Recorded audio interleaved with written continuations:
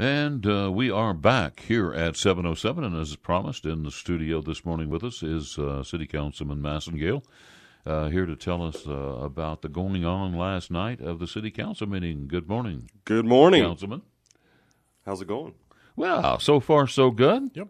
Yep. Seems to be pretty mild morning temperature wise, and uh, Was it we mild? had a pretty mild city mild council, meeting too? last Good. night. Good. Uh, Temperatures weren't rising. we um, we discussed y'all y'all were discussing pedestrian traffic when I walked in off the air, and coincidentally, we talked about a master plan last night that uh, applies to pedestrian and bicycle traffic in our city. It's something that um, uh, our MPO has has worked on, and uh, it's it's interesting when you look at it and. And and as our city has developed, we, we haven't always planned well for pedestrian and bicycle traffic. And this is more than just what you see around Texas Tech. This is, you know, we, we even are, are looking at what we consider complete street models where every time we build a street, we'll take in consideration bicycle and pedestrian traffic, which we haven't done that in the past. And um, so there are some recommendations that come out of this study. It's a, as you can imagine, it's a, you know, it's a fairly thick document. We don't get a study down at City Hall. It's not fairly thick, but, um, you know, I, I, I thought it was interesting that it called for, uh, for example, a pedestrian bridge over Memphis on Loop 289. And I thought about that, and um, you know, there, you know, you, you you go down the loop. We, you know, and you see people trying to get over the loop. Yeah. we've all seen this. Yeah, you know. crazy. Now we can't convince, and we know we can't educate everybody, but there needs to be a, a better way for pedestrians to travel across. And so they've identified Memphis as that potential area. You could go essentially from a park to a park. Uh, you know, is that a funded project? No, that's a very expensive project. But that was Well, just well, why why Memphis? Well, I don't know. I haven't studied it in depth, but that that's that's they've studied it, and that's been their recommendation. Because I live right there. at, Well, uh, I grew up right there in Milne Park, and I know that area well. yeah, I was thinking back when we were kids, we used to go under. yeah.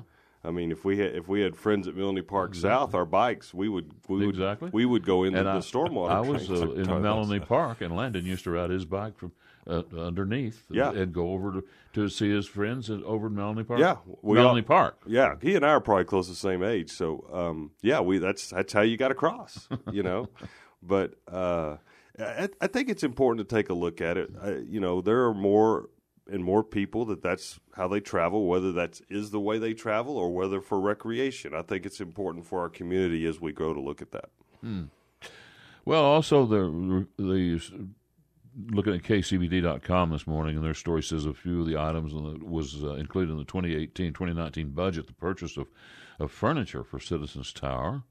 Um, but, but, but, but what was the? Let's see, the furniture was what three million dollars. Yes, That's a lot of furniture, isn't it? it is, but you got you know, it's 188,000 square feet, so you know, it's. Uh, But don't they already have furniture? There is some, you know, this is furniture program for the new space, and uh, this is all when we approved this budget for the tower back in oh, be what seventeen. Uh, this would have been one of the line items that we would have discussed at this time. So this is just final approval. This is not new. This is not a surprise. This falls right still within when we talk about we're on budget with Citizens Tower.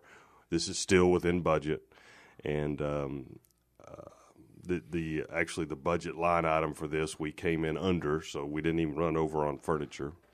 Yeah. They got to sit down, Dave. I can't sit on milk crates over there. I know it. How is how's the tower coming along?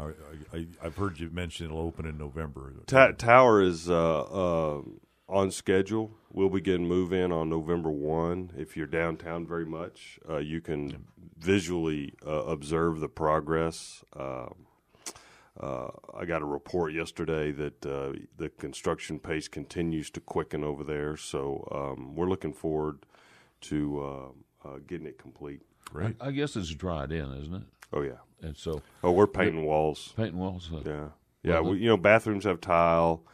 Uh, we, but they're at a point now that uh, they're really moving, and we're hoping the There's there's two personnel elevators inside of it and a service elevator, and and we're really looking forward to getting those things up and live so that things can move even faster. Well, another thing that you- you talked about last night was uh, a high water detection and warning system for Mackenzie Park.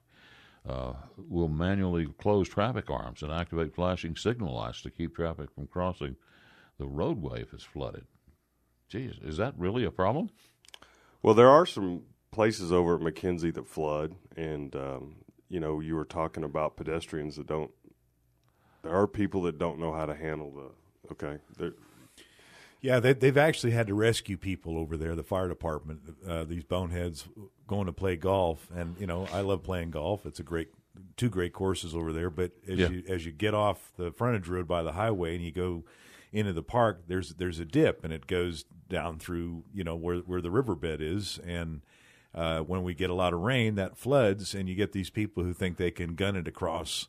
Uh, you know, and the water's coming across at 65 pounds per square inch, you know, at 40 miles an hour, and the cars get stuck. And the fire department, then they got to come risk their lives and get the guy who's on top of the hood of his car or the top of his car from Yeah, drowning. You that's know, true. and it so floods a, a couple different places over there. Yeah. Um, we were laughing about uh, the parks guy, Ga- uh, Ron Gallagher. I think Ron Gallagher, I think is his name, is talking about how you can eat the fish in the Playa Lake. Oh. he was talking about that last night on KMAC, and Dave and I were laughing about that. I'm like, I don't know about eating the fish Yeah. out of those lakes. You're talking about high water and the rivers around I here. Lot- you know, there's a lot of people, man. The, the we get a lot of fishing activity in our lakes. I, I, He's talking about eating them. I was know. like, well, there, Yeah, I'm sure people well, do. I'm telling you, man. There's there's a lot of stuff that runs off into that lake. I remember. Well, I used to. Growing up over there, I used to fish that lake over at Leroy Elmore. And there are a lot of people. I, you know, I was I was I was a big believer in catch and release, but yeah. you weren't bringing them home. there's a lot mom, of but- people that were bringing them home. Yeah, I'm a big believer in not in getting them at United. That's what I, I don't want to. I've decided I don't want a slimy fish in my hands. I don't even want to catch him unless There's a lot of catch and eat 'em. catfish. How's the how how's the budget coming overall? Great question, Matt. Uh, so budget starts next week, and uh, I believe we've got three intense days. Uh, we start that on um, Monday, and the, the, our sessions start at three thirty, and we'll run for three hours. So Monday, Tuesday, Wednesday, we hope that we can work through the entire budget during that time. That will be broadcast and open to the public. And I would, uh, if you have questions or concerns about the budget, I would encourage you to reach out to your uh, council person, and we'll be happy to respond. Uh, so we're looking forward to hearing what management has to present and uh, working through that budget. Let's take a, a break here at 7:15 a.m. Uh, KFYO mornings with and Dave, Councilman Massengale. We'll return after this. News Talk 95.1 FM, 790 AM. This is KFYO Mornings. Dave King, Matt Martin, and subbing for Matt this week is Matt Crow. Uh, we are broadcasting from the Thacker Jewelry Studio. You can see that custom collection at 6120 82nd Street in Lubbock. We have a texture, and I, uh, and I do want to remind you that our text lines are open. If you have a question for the city councilman, 806 680 2790 is our number our text line. Uh, but we also, there's some people that like to email us, and you may do that if you would like. It's mornings at kfyofm.com. Uh, well, Councilman, uh, we have a texture that says, Mr. Massengale is my council member. I'm concerned about the city wanting to increase the tax rate two cents on top of the one cent increase last year and on top of the increased appraisal values last year and this year. So the texter is referring to the three cents that's related to the Public Safety Improvements Project. This is a decision that was made um, now, really, a couple of years ago. Uh, they are correct. We took one penny uh, last year, and that is specifically for, uh, let's remind everybody, to replace the police headquarters, build three substations, build a new property warehouse and crime lab, and the municipal court, uh, which would, is in the same building as police is today. Um, you know, our police infrastructure, if you'd ever been through it or seen it, was is severely outdated, and many councils have attempted to uh, uh, find a solution, and, and they have not been able to. And so, this is where we came to the point, and and I also remind the texter that the council was split on how to take uh, those pennies. There were some of us that wanted to take it to a vote of the people, and we were, and but the majority of the council felt like they should go ahead and, and um, take the um, the the three pennies and uh, fund the project. Yeah, we have uh, another texture that wants to know if the furniture was purchased locally. It was Oh, that's good. local vendor. Um, You know, on the police substations, you, you mentioned the the building. I, I think it's important to point out too. You know what a morale buster that must have been, or and continues to be for the police around here. I mean, who wants to work in a dump? You know, and I, I Well- just, I, I just, I, you know, and and, and I, I get it. Things cost money and so on and so forth, but you know, you can't have it both ways. You know, you want the police to be efficient, and you want them to be there when you need them, but you can't expect them to work in the in dumps. You know, I, I, I just and and I think for a long time, as the councilman indicated, that things had kind of slid uh, with with the police facilities, and, and, and now they're going to improve dramatically, and I think that's got to be good for morale because I mean. You know, nobody likes to go to work when the ceilings are falling in and there's black mold and, and so on and so forth. Elevators don't work. Yeah, I mean, well, come on, you know, and, I mean, and the configuration of space. I mean, all organizations change and, and use space differently, or uh, technology develops, and you, you have different needs. Uh, you know, but the other thing strategically is as we grow as a community and we implement what we've termed as community policing, um, we have a property crime issue all communities do, but we've got ours and we've got to work on it. And this is one very important tool uh, that we can arm our law enforcement with to keep on hammering on property crime. And I, yeah, and I'm I'm with you 100 percent on that. And I off the mic, I was telling the councilman that uh, what a great thing it is for the police doing their outreach. A few weeks ago in our neighborhood, they had their command post set up, and you could walk over there and talk to the police officers and the end of the, I guess they call them division commanders, the the fellow who is actually in charge of that area, and sit down with them and talk to them about you know what can I do to help you, what can you do to help me, but um, you know regardless of, I, sometimes I think we get a little wound up in the costs of things, and uh, it's, it's important that we spend money properly and, and, and keep the taxpayer first and foremost. But at the same time, you know, the, the, the police are just like you and I, and, and they've got to be treated respectfully, and they need to be in places that are clean. If you go in in one of the new fire stations or any any of the fire stations in this town, you could eat off the floor. Mm-hmm. I mean, the firemen keep those places spick and span. They take pride in the in the the equipment. They take pride in the facility. They take pride in the outside of the facility. And I, you know, so you know, the police aren't any different. I mean, they're they're they're proud to to work as a police officer, and I think.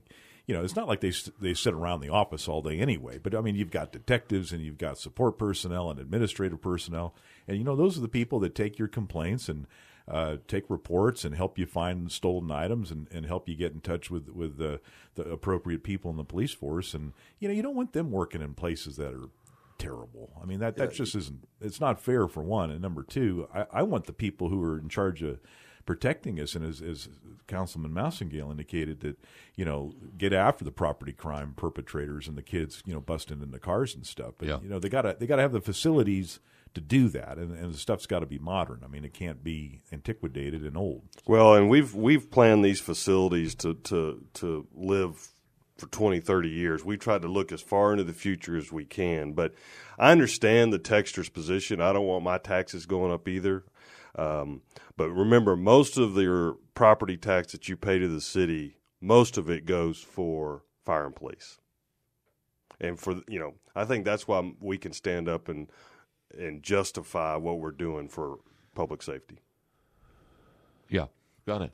Uh, coming up on 729 this morning, again, uh, KFYO Mornings with Dave and Matt Crow.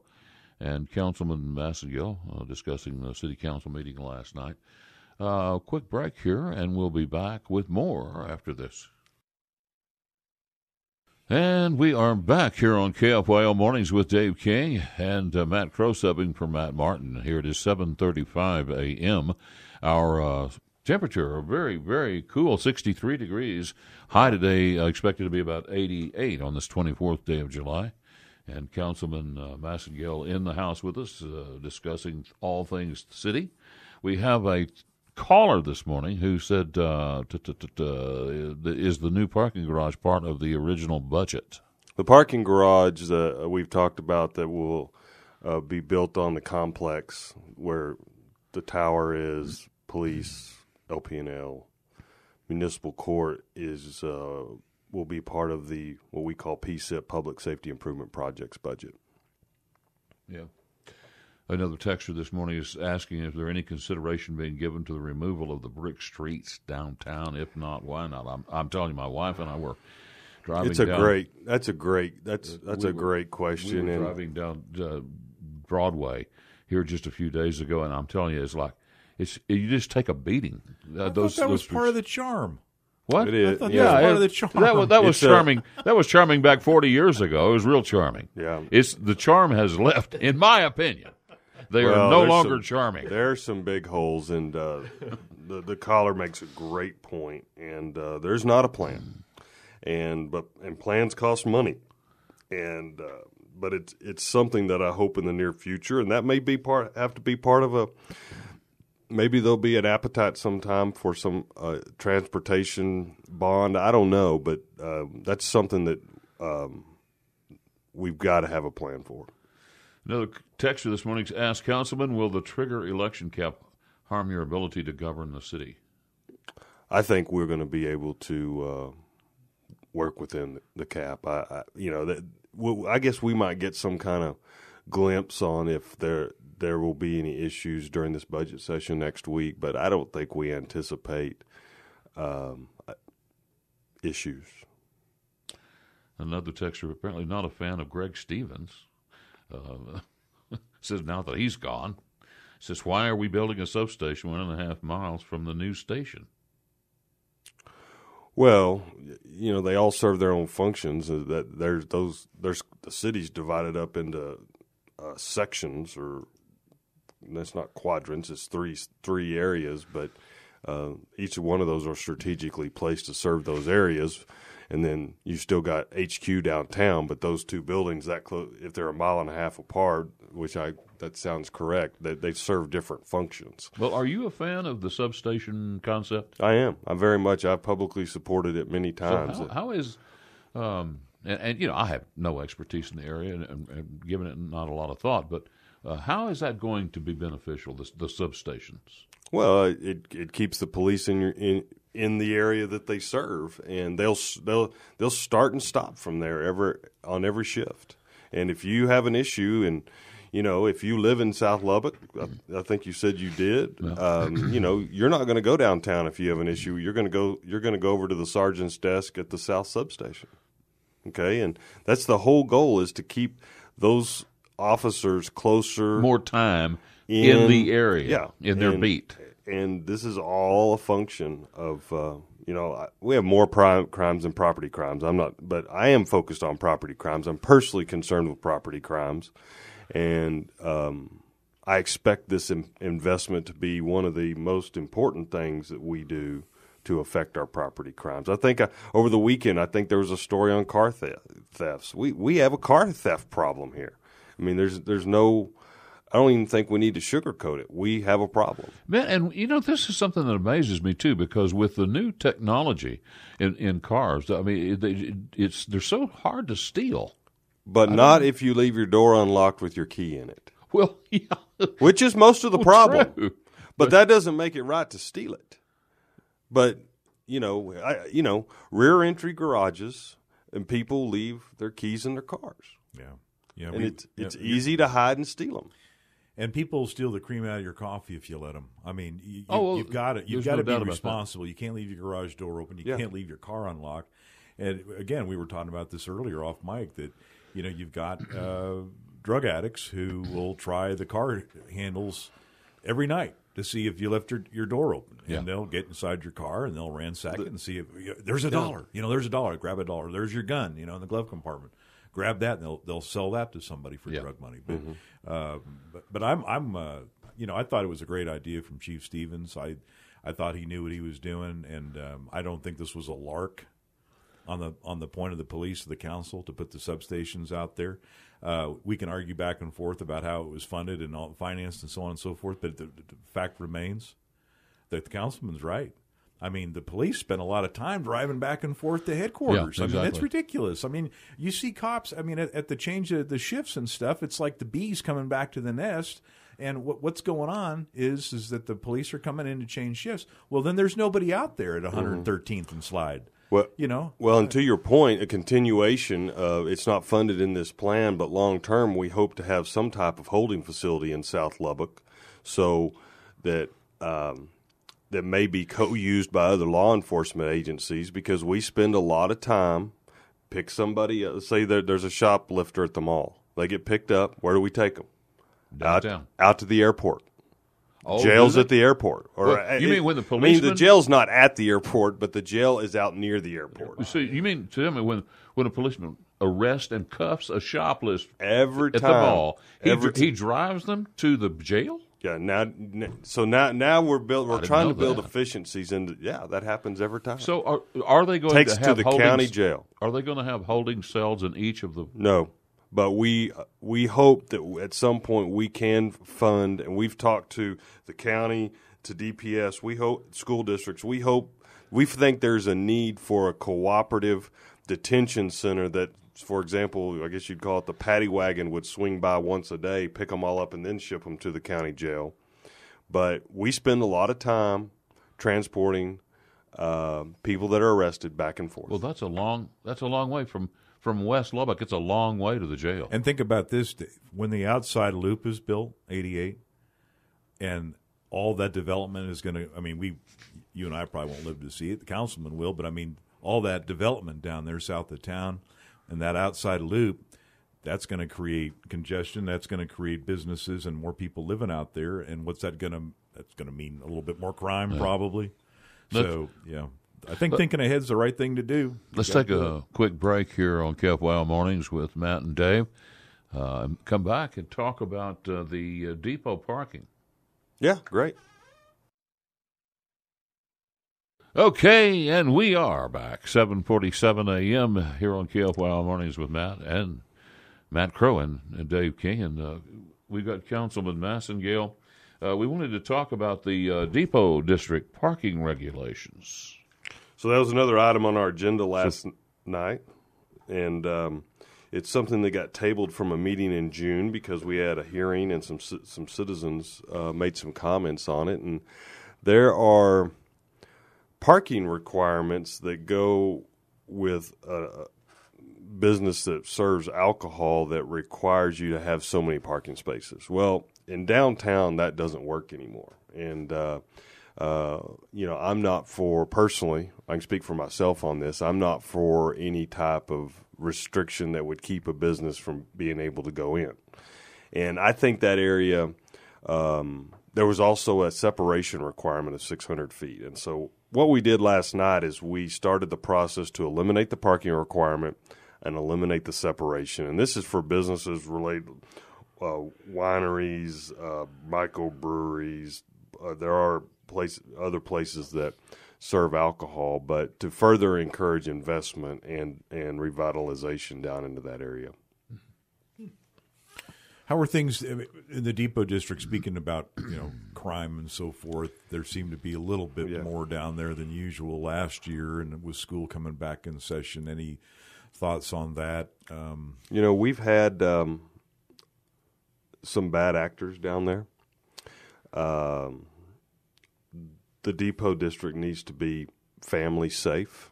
Uh, uh, luckily, we haven't had any incidents lately. I don't want to jinx jinx that situation, but uh, our our police have done a very good job in in working on the problem areas, and uh, so I think at this point we see some improvement. We'll continue to work on that. I, you know,